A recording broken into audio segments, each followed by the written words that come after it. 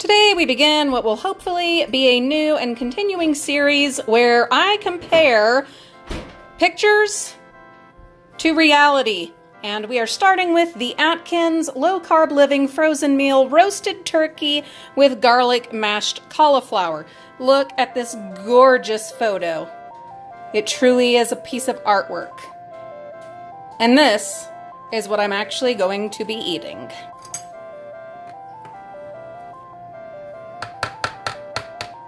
I understand that it is not a reasonable uh, expectation to expect for your food to actually look exactly like the picture that they made with like tools and glues and fillers and things like that, but wow.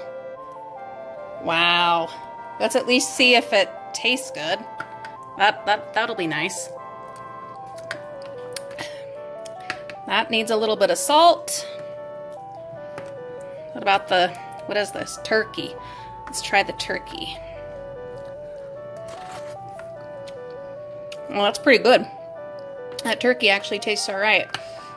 I cooked it the way that they said, but I will tell you that the mashed cauliflower did not get cooked as well as the turkey and gravy. Sure does taste good though. What shall we compare next? Well, come on back and you'll find out.